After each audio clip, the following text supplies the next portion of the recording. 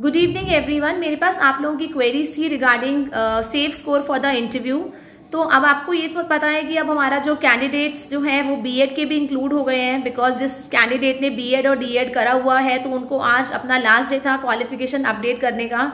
तो आप लोगों की कट ऑफ़ जो पहले 120 प्लस जाने वाली थी तो अब आप मान के चलिए कि आपकी जो कट ऑफ़ होगी 128 प्लस जा सकती है, क्योंकि बीएड के कैंडिडेट्स उसमें इंक्लूड हो गए हैं तो इसीलिए कट ऑफ़ थोड़ी सी हाई अप जा सकती है राइट right? नाउ अगर आप जनरल कैटेगरी से बिलोंग करते हैं अगर आपका 126 प्लस स्कोर है तो आप सेफ़ जोन में हैं। और अगर 130 प्लस है आपका स्कोर तो वो तो बहुत ही अच्छा है। तो आ, मतलब आप लोगों को इंटरव्यू में मेहनत तो पूरी करनी है पर फिर भी आप सेफ़ हैं।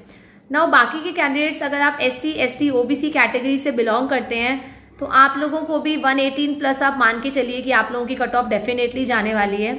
नाउ इंटरव्यू में कितना स्कोर करें जो स्कोर करें जो आपकी बेसिकली क्वेरी आ रही है तो आप अपने इंटरव्यू के लिए 100 परसेंट की तैयारी कीजिए। ऐसा बिल्कुल मत सोचिए कि हमारे 130 प्लस हैं हमारे 140 प्लस हैं तो हमें कम मेहनत करनी है।